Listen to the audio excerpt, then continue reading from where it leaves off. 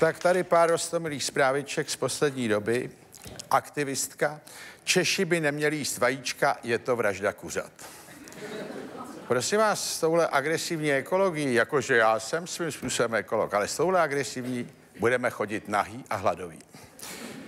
Tohle nebudeme. Nejrozmazanější kočka má vlastní služky a vydělává miliony. No tak eh, to samozřejmě, protože to je kočka tady pana Karla, Karla Lagerfelda, módního návrháře. A tahle ta kočka, prosím vás, vydělala za loňský rok přes 2 miliony liber, což je zhruba 82 milionů korun. Chtěl bych být jeho kocourkem.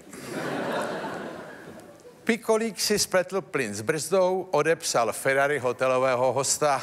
To je, jak vám v hotelu dají jako službu, že jim dáte klíčky a oni vám rozflákají Ferrari potom. To bych se dozvěděl v komatu už jenom. Šnečí slis je hitem salonu krásy. Zbaví vás vrásek. Akorát jste malinko lepkaví celou dobu. Čili celkem není proč se vás dotknout, ale vrázky nemáte.